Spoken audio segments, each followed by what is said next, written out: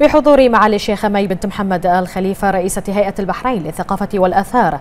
نظم المركز الإقليمي والعربي للتراث العالمي وبالتعاون مع مركز أبحاث المعرفة التقليدية في إيطاليا ندوة حول تراث الماء ومناظر الواحات الطبيعية. جاء ذلك على هامش اجتماع لجنة التراث العالمي الثاني والأربعين والذي يقام في قرية اليونسكو في مملكة البحرين. على هامش اجتماع لجنة التراث العالمي الثاني والأربعين والذي يقام في قرية اليونسكو في البحرين. نظم المركز الإقليمي العربي للتراث العالمي بالتعاون مع مركز أبحاث المعرفة التقليدية في إيطاليا ندوة حول تراث الماء ومناظر الواحات الطبيعية حيث تم تسليط الضوء على أنظمة إدارة المياه التقليدية الموزعة في مختلف أرجاء البلدان.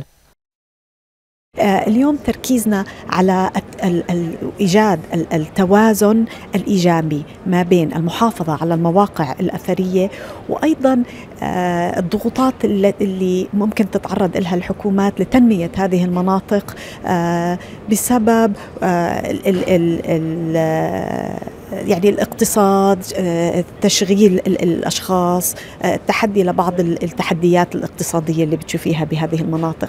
فأكثر المشاكل اللي سمعنا عنها اليوم في النقاشات هي آه، يعني تأتي بسبب عدم وجود يعني معادلة متوازنة إيجابية ما بين متطلبات السياحة والتنمية وما بين المحافظة. فأعتقد إنه هذا الشيء الرئيسي اللي اللي يجب التركيز عليه والمخرجات تصب في هذا هذا الموضوع. دور الماء آه، في حياة الإنسان في المنطقة العربية.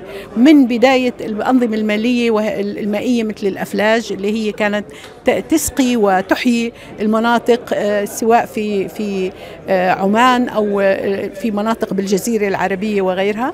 وأيضا عن الواحات. فالواحات وكيف كان يمكن يعني توفير الري والمياه اللازمة لحياة الواحات وكيفية حمايتها. وكان معنا عدد من الخبراء آه، يعني دوليين وأخ خبير من عمان هو المسؤول عن آه، التراث العمراني في آه، سلطنة عمان وتكلم عن الأفلاج وأنواعها الموجودة هناك. فعاليات متنوعة ضمها اليوم الثاني للمؤتمر سلطت الضوء على أهم الأمور المتعلقة بأنواع الواحات التي تنتشر في أرجاء الوطن العربي بالإضافة إلى معرض أقيم في بهو قرية اليونسكو ويستمر حتى نهاية أعمال لجنة التراث العالمي ويضم صورا ومعلومات قيمة حول الواحات أنواعها وأماكن توزيعها جغرافيا في المنطقة العربية.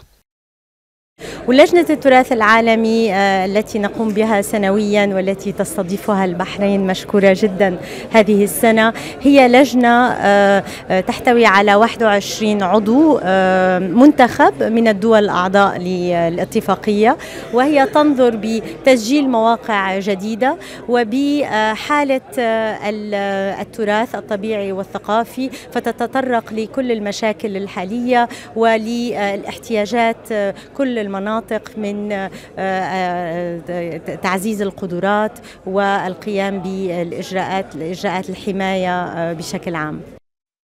أنشطة متنوعة تحدث عنها المتخصصون. يضمها 82 موقعا عربيا مدرج على قائمة التراث العالمي. منها 74 موقعا ثقافيا وخمسة مواقع طبيعية وثلاثة مواقع مختلطة. طبيعية وثقافية. خولة القرينيس لمركز الأخبار تلفزيون البحرين.